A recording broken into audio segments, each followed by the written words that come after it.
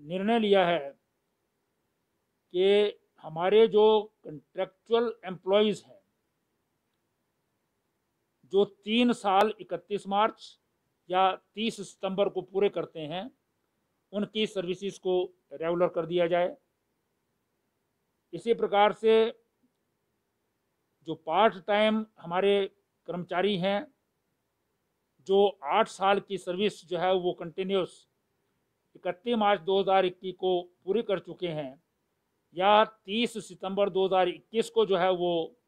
करेंगे, उनको daily basis में जो है वो कन्वर्ट कर दिया जाए। और इसी प्रकार से जो डेली और कंटिजेंट वर्कर्स हैं, जो पाँच साल की सर्विस इकतीस मार्च 2021 को पूरी करेंगे या 30 सितंबर 2021 को पूरी करेंगे, उनको भी जो डिफरेंट डिपार्टमेंट्स में अवेलेबल वैकेंट सीट्स होंगी, उसके अगेंस्ट जो है वो उनको भी रेगुलराइज जो है वो कर दिया जाए। मंत्रिमंडल ने बाली चौकी में एक entrepreneurship development and innovation centre ये खोला है, ये पहले खोल दिया गया है। लेकिन इसमें स्टाफ जो है वो लगाने के लिए 19 पद टेक्निकल और मिनिस्ट्रियल स्टाफ के वो सृजित करने को मंजूरी दी है। इसी प्रकार से रूरल डेवलपमेंट डिपार्टमेंट में दो पद ब्लॉक डेवलपमेंट ऑफिसर्स के बीडीओस के जो हैं वो डायरेक्ट रिक्रूटमेंट से भरने को भी मंजूरी प्रदान की है। मंत्रिमंडल ने धर्मपुर तहसील, मंडी जिला की धर्मपुर तहसील है, उसके बरोटी नामक स्थान पर माननीय मुख्यमंत्री जी की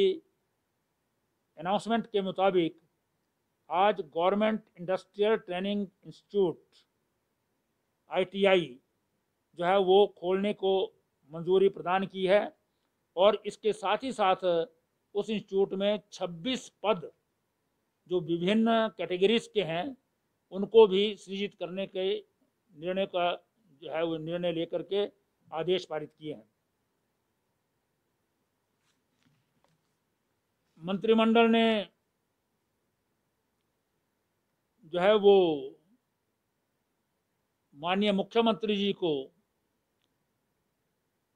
मंत्रिमंडल के सदस्यों ने और माननीय मुख्यमंत्री जी ने भी अपना एक मास का वेतन उसके चेक मुख्यमंत्री जी को प्रदान किए और मुख्यमंत्री जी ने वो सभी चेक